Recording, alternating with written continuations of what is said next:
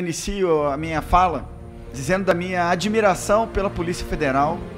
da minha admiração pelo trabalho que essa instituição tem feito ao longo do tempo, e em particular depois que o nosso presidente Jair Messias Bolsonaro assumiu,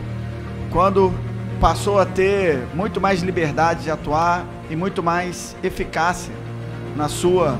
atuação contra o crime. Tenho admiração imensa pela Polícia Federal e talvez por isso seja para mim tão constrangedor participar de uma audiência como essa. Quero dizer também que o nosso governo, o governo Bolsonaro, tem o interesse, a partir da atuação dos ministros do meio ambiente e da economia, da agricultura, de fazer o equilíbrio entre a necessidade real de se preservar o meio ambiente, mas também de desenvolver a economia do país. Isso ficou muito claro quando, da fala do nosso presidente Bolsonaro, na reunião da cúpula de líderes sobre o clima, em que ele tratou sobre a antecipação da neutralidade carbônica de 2060 para 2050, falou sobre a meta que o nosso governo assumiu para zerar o desmatamento ilegal até 2030, 50% de redução de emissões de carbono até 2030 e muitos outros compromissos e programas de sucesso conduzidos pelo nosso competente ministro do Meio Ambiente, Ricardo Salles. Importante dizer também que nós não compactuamos com qualquer crime ambiental. Se algum crime ambiental tivesse sido cometido, nesse caso, e em qualquer outro caso, que os responsáveis sejam punidos, mas que sejam punidos dentro do devido processo legal,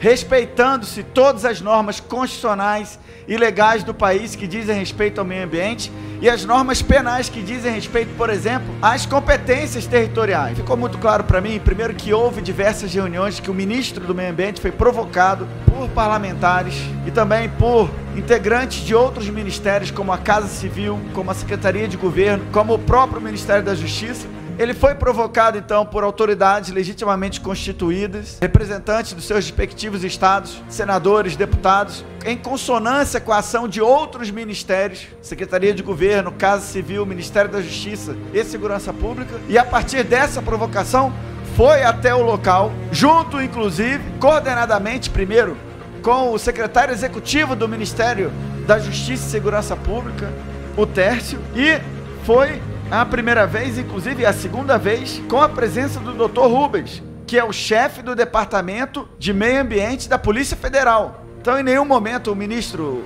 o Ricardo Salles, esteve presente de maneira isolada. Ele foi no contexto de provocação e eu li todas as manifestações também do ministro. Em nenhum momento ele condenou ou inocentou nenhuma das empresas ou pessoas envolvidas. A cobrança do ministro foi sempre no sentido de celeridade, inclusive de permitir que houvesse, que haja, essa é a nossa esperança, a possibilidade do contraditório e da ampla defesa, que haja preservação do meio ambiente, que nós venhamos a garantir que as populações também lá do Amazonas, do Pará, da Amazônia como um todo, tenham um meio de subsistência que seja adequado à preservação do meio ambiente, mas que também garanta a subsistência das pessoas através de atividades legais. Esse confronto público entre uma autoridade policial e um ministro de Estado, ainda que o senhor tenha as convicções policiais e as convicções que amparam a queixa-crime que o senhor fez no Supremo Tribunal Federal, esses embates públicos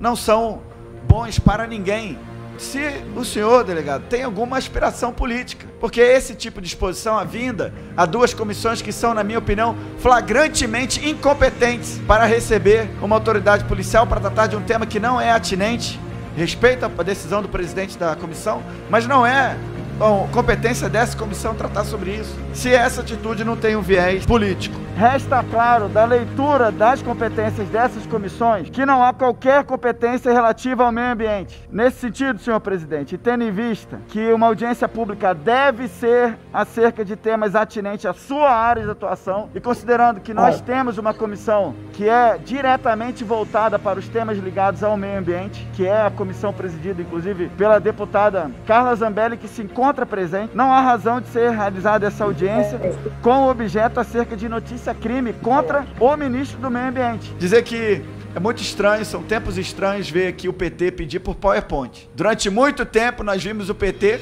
criticando a postura de autoridades policiais ou de, do Ministério Público que expuseram né, as suas teses jurídicas em torno de um PowerPoint e ver isso aqui, confesso que é algo inusitado para mim.